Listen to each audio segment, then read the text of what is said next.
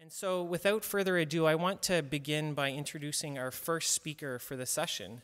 And we will, as I mentioned, move from a global level to a more individual level as we go through each of our speakers, each of whom have uh, incredible accomplishments to their own rights. So, Ira Helfand, or should I say, at Ira Helfand, um, he is the international co president of International Physicians for Prevention of Nuclear War, the organization that was a recipient of the 1985 Nobel Peace Prize. And uh, he had the best excuse ever in my mind for not being there when they received the Nobel Peace Prize. He just had mentioned that he was changing diapers at the time, which I think is certainly a good, a good and justifiable uh, reason. He, um, he has uh, tremendous uh, academic accomplishments, publishing in the New England Journal of Medicine, BMJ, and having lectured in many countries around the world. He's represented PSR, the American counterpart, and IPPNW at the Nobel ceremony in December 2009 when President Obama received his Nobel Peace Prize. And um, he himself actually works as uh, an internist and urgent care physician at Family Care Medical Center in Springfield, Massachusetts, where he uh, lives right nearby, I guess, in Leeds, Massachusetts, with his wife, Deborah, a uh, medical oncologist. And so Ira will begin the session speaking a little bit about the very real uh, concerns we need to have about nuclear war and the, the imminent necessity to abolish nuclear weapons. Ira, thank you. Thank you, Tom. Yeah, so it is late in the day, and people are tired, and I'm going to talk about the end of the world. Um, so forgive me. I'll try to make it as exciting as possible. Um, a generation ago, when uh, IPPNW and PGS were getting started, there was a very, very widespread understanding around the world of the enormous danger that nuclear weapons posed. And as a result of this, millions of people were involved across the planet in a movement to prevent nuclear war and ultimately to abolish nuclear weapons. And this movement was astonishingly successful in ways which we didn't really fully even understand at the time.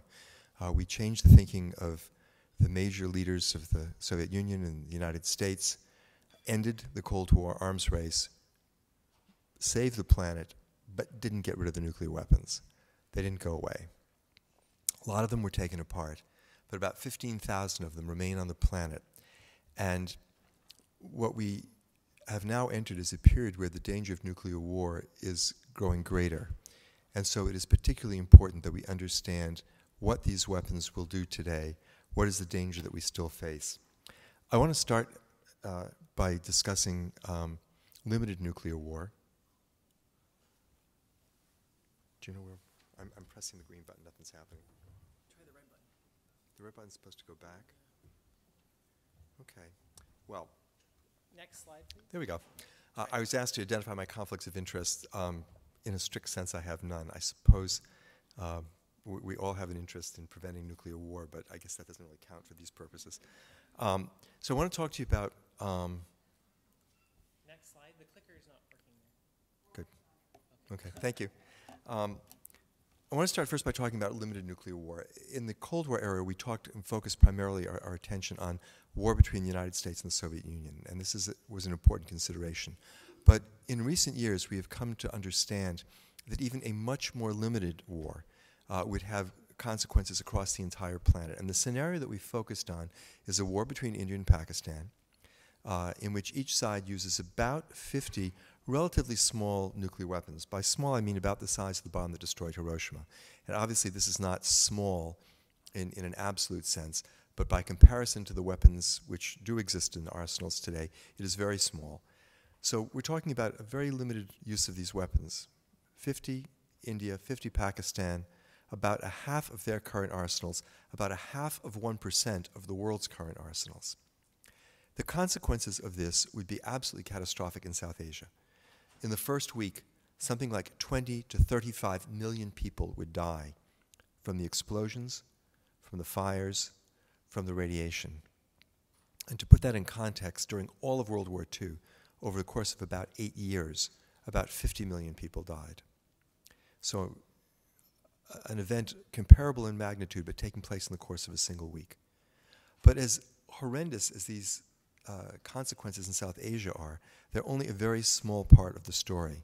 Because the problem is, if you blow up 100 cities with Hiroshima sized bombs, the fires started by these explosions put about anywhere from five to six and a half million tons of soot into the upper atmosphere. And this soot blocks out the sun, drops temperatures across the planet, shortens growing season, and produces a catastrophic decline in food production. Uh, we've studied this uh, in regards primarily to uh, the United States and China. This slide shows the, the effects on China, which is the world's largest producer of food. Um, for corn, maize, uh, in the first five years, it's a 17% decline in the crop, and over a full decade, it's about 16%. For middle season rice, the largest food crop in China, the decade long decline is about 17%. And for winter wheat, which is the second largest food crop in China, the production goes down about 31%. Um, the world just is not in a position to absorb declines in food production of this magnitude. At the current moment, world grain reserves amount to about 80 days of consumption. Means in all the granaries, there's enough food staved up to feed the planet for less than three months. And that is not going to be anywhere near an adequate buffer for famine that lasts for a decade or more. In addition, at baseline today, there are about 795 million people who are already malnourished. They're getting on average about 1,800 calories a day, which is just enough for an average adult to maintain his or her body mass and do a little bit of physical work, you know, to gather food or to grow food. Uh, this entire group of people is at risk. They cannot sustain a significant further decline in their food production. In addition, there are about 300 million people who are getting pretty good nutrition today, but live in countries where most of the food or much of the food is imported. And that includes a number of very wealthy countries like Japan, South Korea, Taiwan, uh, most of the countries in the Middle East, most of the countries in North Africa. So that's another 300 million people. And finally, there are about a billion people in China who are getting adequate nutrition today, live in a country where most of the food is grown in country, but who have not shared in the significant economic progress that's taken place in China over the last 30 years. And this group of people also would be extremely vulnerable in the event of the huge declines in food production that we're now projecting for China, which would lead to uh, enormous rises in food prices and food becoming inaccessible for people who do not have significant amounts of money. And there are about a billion people in China who, who live on less than $5 a day. So, all told, uh, we believe that a limited nuclear war in South Asia, just involving a tiny percent of the world's nuclear weapons and confined to one geographic area, would cause a global nuclear famine lasting for over a decade that could put at risk up to 2 billion people a third of the human race. This would be an event unprecedented in human history. There has never been anything like this. It does not, would not mean the biological extinction of our species, but it would almost certainly mean the end of modern civilization. No civilization in history has ever withstood a shock of this magnitude, and there's no reason to think that ours would be any different. We use the example of India and Pakistan. Um, the same scenario could also be produced by the weapons on board a single U.S. Trident submarine. These Tridents carry 96 warheads, not 100, but 96. But each of them is 10 to 30 times more powerful than the weapons that we used in the South Asia scenario. And that's just, you know, the U.S. has 14 of these submarines, and that's only a third of its nuclear arsenal because there are bombers and land based missiles. And the Russians have an arsenal which has the same literally insane level of overkill capacity. So I think we, we ought to look at what would happen if these arsenals were used as well. And I want to start by describing a large scale attack on a city. I'm going to use New York. I'm sorry, I didn't have a chance to prepare uh, slides using Toronto as the victim, but uh, that's probably just as well. Um, we're, we're, familiar with the images of Hiroshima, um, city just flattened by a 15 kiloton bomb. A modern attack would not involve a single bomb. It would involve, in a case of New York, maybe 10, 15, 20 bombs and each of them would be 30 to 50 times more powerful than the Hiroshima bomb. It's a little bit difficult for me to describe and for you to absorb uh, uh, a description of, of 15 bombs going off all at once. So I'm going to use a model of a single 20 megaton bomb. the model overestimates the megatonnage, the, the total amount of explosive force that would be generated. It actually underestimates the destruction that would take place because you destroy a city more efficiently if you have multiple small explosions spread out over a large area, which is why that's the way uh, modern uh, arsenals are designed. But the single mo- the sing- model of a single explosion, I think, gives an adequate understanding of, of the danger that we're facing. Within a thousandth of a second of the detonation of this bomb, a fireball would form, reaching out for three kilometers in every direction, six kilometers across. Within this entire area, the temperature rises to 20 million degrees Fahrenheit, which is hotter than the surface of the sun, and everything is vaporized. The buildings, the people, the trees, the upper level of the earth itself disappears. To a distance of six kilometers in every direction, the explosion generates winds in excess of 1,000 kilometers per hour and blast pressures greater than 25 pounds per square inch. Mechanical forces of this magnitude destroy anything that people can build. Underground shelters collapse when they're exposed to forces of this magnitude. To a distance of nine kilometers in every direction, uh, the heat is so intense that automobiles will melt. To a distance of 15 kilometers in every direction, and notice I've had to change the scale of the map to accommodate this expanding circle of destruction. To 15 kilometers in every direction, the winds are still greater than 300 kilometers per hour. And forces of that magnitude will level uh, wood frame buildings, masonry buildings. A modern building like this would see the walls and, and, the, and the floors swept out, and a steel skeleton would be left standing. That's all. To a distance of 25 kilometers in every direction, the heat would still be so intense that everything flammable would burn cloth, wood, paper, gasoline, heating oil, plastic, it all ignites. Hundreds of thousands of fires, which over the next half hour coalesce into a firestorm, 50 kilometers across, covering nearly 2,000 square kilometers. Within this entire area, the temperature rises to 1400 degrees Fahrenheit, 800 degrees centigrade. All of the oxygen is consumed, and every living thing dies. The bacteria and the viruses die. The area is sterilized of life. In the case of New York City, we're talking about 15 million people dead in a half an hour. And if this were part of a large scale war between the United States and Russia, this same level of destruction would be visited on every major city in both countries. And if NATO were drawn into the conflict, every major city in Canada and, and Europe as well. And a report that we did in 2002 showed that if only 300 of the 7,000 warheads in the Russian arsenal detonated over urban targets in the United States, 75 to 100 million people would be dead uh, in the first half hour. And in addition, the entire economic infrastructure of the country, everything that we depend on to keep our populations alive, would be gone. The, the public health system, the internet, the electric grid, the food distribution system, none of this would exist anymore. And over the months following this attack, the vast majority of the people surviving in the US, in Canada, in Russia, in Europe would also die from starvation, from exposure the following winter, from epidemic disease, from radiation poisoning. Probably close to a billion people as a result of the direct effects. Um, but as incredible as this is, um, again, these direct effects are only a small part of the picture.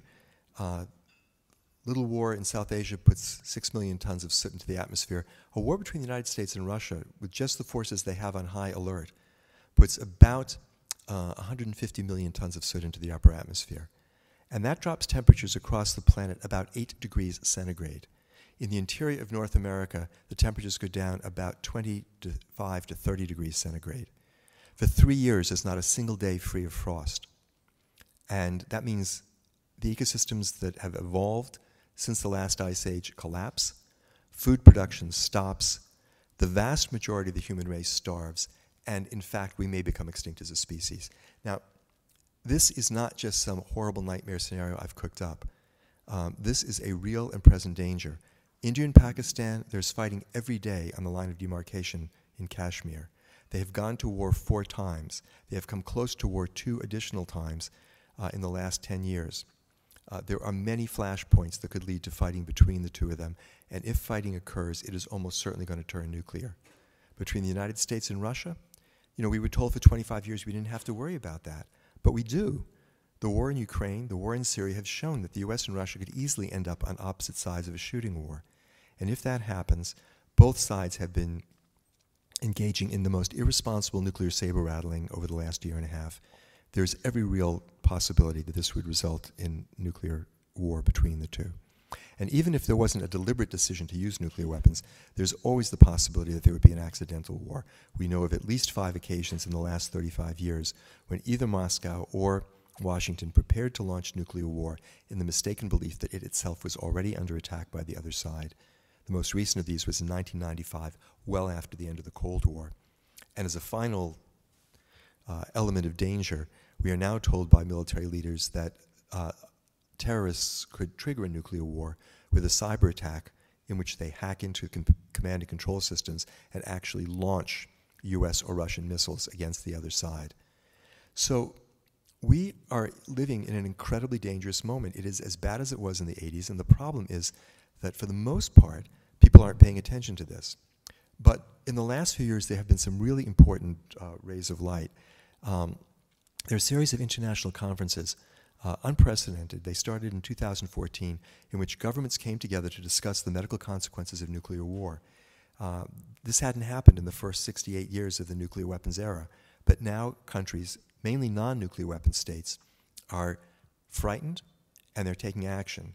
And as a result of these conferences, um, there has been created uh, a new movement to ban nuclear weapons, essentially. Uh, at the level of civil society, this is being led by a, uh, an organization called ICAN, the International Campaign to Abolish Nuclear Weapons, started by IPPNW, now involving about 500 uh, NGO organizations in 94 countries, led uh, very importantly, I think, by young people primarily, uh, headquartered in Geneva, but with campaigners all around the world.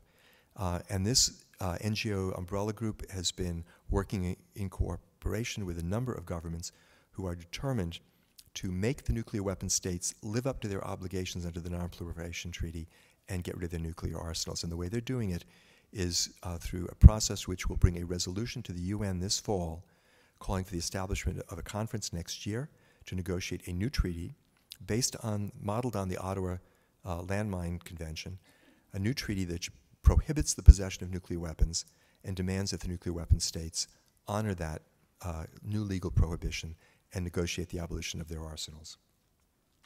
Um, there's an enormous responsibility on our shoulders. Many people in this room have been working on nuclear weapons issues for decades. Others, for others, I think this may be a completely new issue. We're all doing all kinds of important things in our daily life. We have to figure out how to commit some time and some energy to this issue. If we do not get rid of nuclear weapons, and the time frame for this, I think, is incredibly short, they are going to be used. And all the things that I described are going to happen. This is not the future that must be, but it is the future that will be if we don't take action. No one of us is expected to do this job all by ourselves. But each one of us has to take on that part of the job which is ours to do. The choice between us is very stark. The nuclear weapon states are planning to spend trillions of dollars, literally, over the next 30 years, modernizing their nuclear arsenals and maintaining them for decades to come. The non nuclear weapon states are saying we need to get rid of them all and seek the security of a world free of nuclear weapons. And we know that their path is right and that if we follow the path of the nuclear weapon states, it's going to end in disaster. We have a choice life or death. It's up to us. And we need to choose wisely, and we need to act with courage and determination so that indeed we choose life. Thank you very much.